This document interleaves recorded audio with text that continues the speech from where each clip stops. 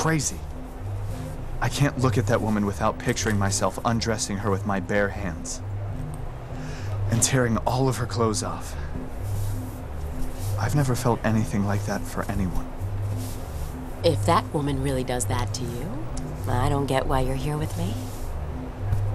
All in due time. Slowly. Mara's not mine yet. But she will be. She's gonna cure me. And just how can you be so sure? I've been with many women, but I've never been with a black woman. I don't know any women like her. She's unique and special.